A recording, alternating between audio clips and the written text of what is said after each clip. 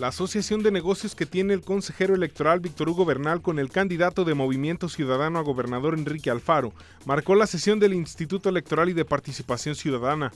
Los consejeros Naucat Bravo y los representantes del PRD y el PRI pidieron a Bernal que se excusara de votar los puntos del orden del día, lo que rechazó. Lo que resulta inaceptable es que en la misma sociedad concurran como socios un candidato a gobernador del Estado y un consejero electoral estatal quien es responsable de vigilar el cumplimiento de las disposiciones constitucionales y legales en la materia.